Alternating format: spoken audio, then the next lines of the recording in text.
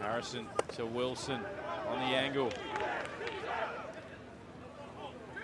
Switching the angle of attack, and Harrison sides right through.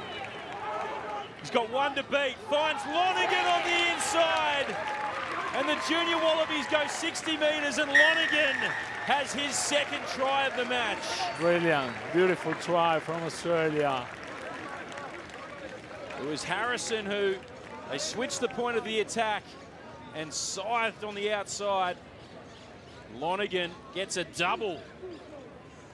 It's a bonus point try for the Australian side.